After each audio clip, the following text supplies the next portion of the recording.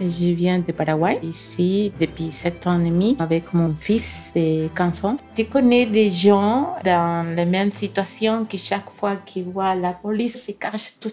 Et moi, non, j'ai pas peur. Dans une occasion, je me suis contrôlée.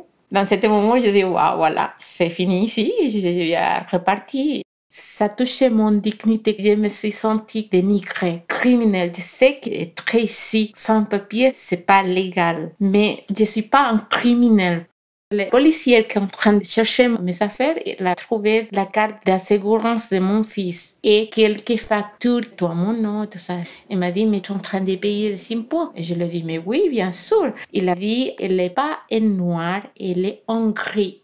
Et dans ce moment, c'était incroyable. Elle m'a dit, excusez-moi madame, nous vous souhaitons une bonne journée. C'est tout.